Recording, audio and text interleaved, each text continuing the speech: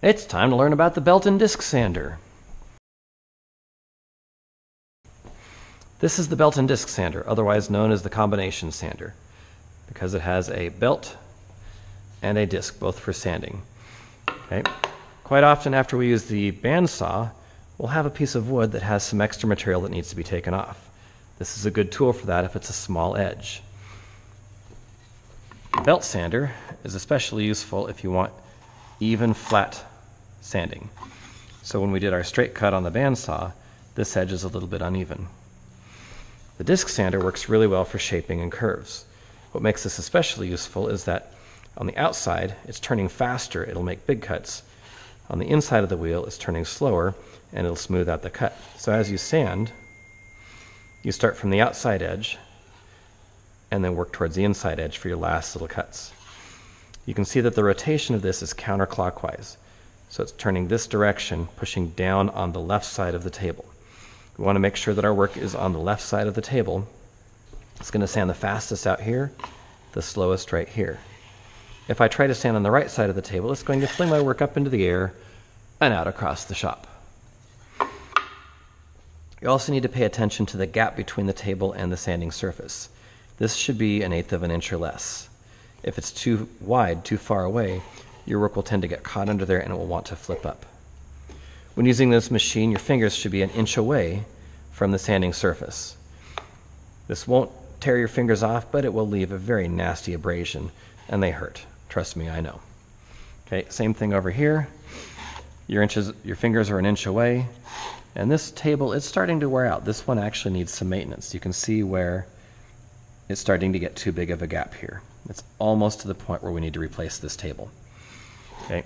The other thing to know about the belt sander is sometimes this belt will wander from side to side. There's a tracking adjustment here and here, just like the bandsaw that will track the belt from one side to the other. These are not to be touched. If you turn the machine on and you notice that the belt is not centered in its spot here, turn the machine off and come get the teacher. The other thing with this machine is that you do need to have dust collection running.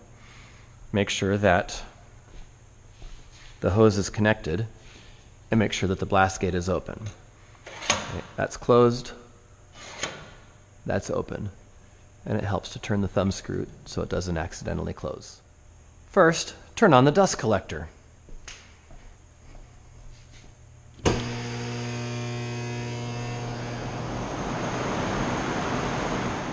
To operate the machine, turn the power switch on.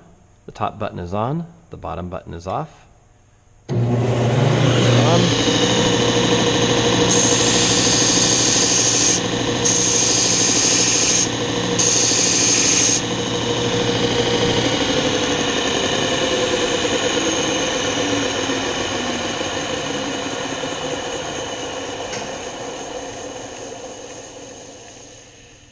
Be sure to wait for the machine to stop. When sanding, you noticed I used a gentle, even motion. Do not force the wood into the sanding material. You'll burn the wood and you'll tear the belt. Okay? Now, while I'm using this, nobody else is using the disc sander. This is a one person tool. One more time, this is a one person tool. So now I'm going to come over here.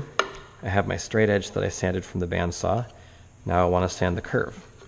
And again, I'm going to start at the outside and rotate my wood.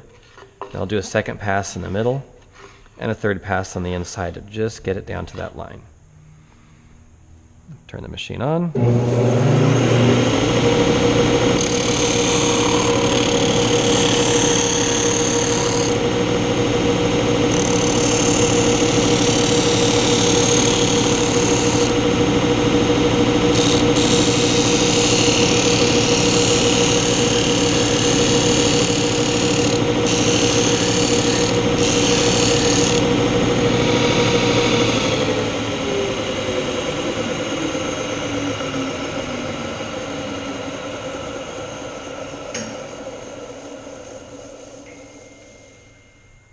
Turn the machine off, and wait for it to come to a complete stop. And that is your belt and disc sander or combination sander.